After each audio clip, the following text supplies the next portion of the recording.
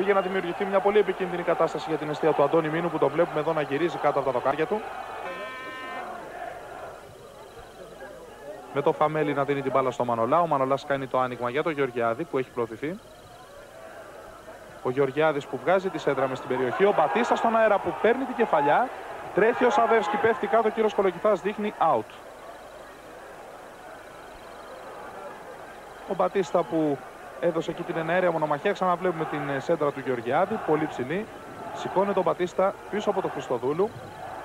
Δεν υπάρχει φάουλ βέβαια στον Ταλικριάδη, ο οποίος ε, αν χτύπησε με κάποιον, χτύπησε με τον Χριστοδούλου, το συμπέκτη του. Εδώ τρέχει ο Σαβεύσκι.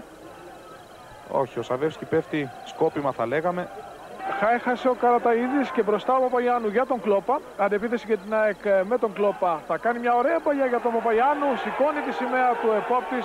Είναι offside. Έτσι λοιπόν η φάση δεν μετράει. Ο κύριος Κολοκυθάς δέχεται τη γνώμη του επόπτη που ελέγχει την περιοχή του Ταλικριάδη. Σφυρίζεται το offside και συνεχίζεται το παιχνίδι. Έγινε η παλιά για τον Πρωτασόφ που δεν είναι offside, ε, λέει ο διαιτής και ο επόπτης. Η μπάλα τελικά out και να η πολύ μεγάλη ευκαιρία. Μια αδράνεια της άμυνας ΣΑΚ και βλέπετε ομαδικά τους παίκτες ΣΑΚ να διαμαρτύρονται προς τον άλλο επόπτη ο οποίος διέταξε να συνεχιστεί το παιχνίδι όπως συνέχισε το παιχνίδι και ο κύριος Κολοκυθάς. Ο Προδασόφ βρέθηκε μόνος μπροστά στο Μίνου. Πλάσαρε ο Προδασόφ, η μπάλα πέρασε πάνω από τα δοκάρια του Ενωσίτη goalkeeper. Έτσι λοιπόν χάθηκε μία ακόμη ευκαιρία για τον Ολυμπιακό. Κάποιες συνεννοήσεις Προτασόφ, Παχατουρίδη και τελικά ο Προτασόφ. Κατευθείαν μια εκπληκτική απόκρουση από τον Μίνου που διατηρεί ανέπαφη την αιστεία του.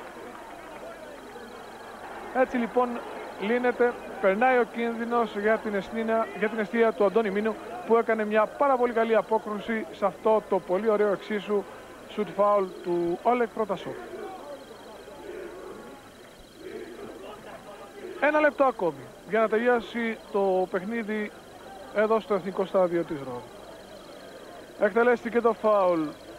Ο Παπακοστούλης κάνει την κεφαλιά. Προσπαθεί ο Μπατίστα.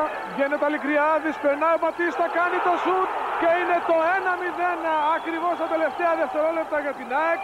Και βέβαια βλέπετε κυρίες και κύριοι το τι γίνεται. Ήταν μια πάρα πολύ ωραία παλιά. Η μπάλα πήγε στον Ντανιέλ Μπατίστα που απέφυγε και τον Ταλικριάδη και στη συνέχεια έστειλε την μπάλα στα δίκτυα του Ολυμπιακού ακριβώς τα τελευταία δευτερόλεπτα κάνει το ΑΕΚ Ολυμπιακός 1-0 έτσι λοιπόν να αυτό το ντέρμπι το πολύ μέτριο σε θέαμα αλλά γι' αυτό υπάρχουν πάρα πολλές δικαιολογίες για τους ποδοσφαιριστές που έπαιξαν σήμερα ο, ο πολύ κακός αγωνιστικός χώρος και βέβαια και η κρισιμότητα του παιχνιδιού Αντώνη Μίνου, θέλω να μου πεις αν το αποτέλεσμα αυτό ανταποκρίνεται στην πραγματικότητα του σημερινού παιχνιδιού. Κοιτάξτε, εμείς είχαμε πάρα πολλά προβλήματα. Προσπαθήσαμε για το καλύτερο. Όλα τα παιδιά παίξαμε όσο το δυνατό καλύτερα. Νομίζω ότι και ο Ολυμπιακός έκανε μια καλή εμφάνιση, ήθελε την νίκη. Αλλά εμείς ε, κοιτάξαμε τη σκοπιμότητα και αυτό το κατορθώσαμε. Δηλαδή με τις αντεπιθέσεις να κερδίσουμε το παιχνίδι και όπως έγινε. Από εδώ και πέρα πώς βλέπεις τη συνέχεια του παιχνιδιού; Τη συνέχεια βέβαια του πρωταθλήματος. Ελπίζω να μην έχουμε τα προβλήματα που έχουμε όλη αυτή τη χρονιά. Ελπίζω να μας αφήσουν αυτά τα προβλήματα και η ΑΕΚ θα βαδίσει στον δρόμο που όλοι ξέρουν, δηλαδή να πρωταγωνιστεί. Αυτό το αποτέλεσμα πόσο οριοθετεί την πορεία του πρωταθλήματος από εδώ και πέρα; Νομίζω ότι θα πλησιάσουν και οι άλλες ομάδες στο team των uh, πρωτοπόρων. Ε, άσχετα ο Παναθηναϊκός αν βρίσκεται αυτή τη στιγμή αρκετά μακρι, ε, πρώτος, εμείς πιστεύουμε ότι με την ανάλογη καλή πορεία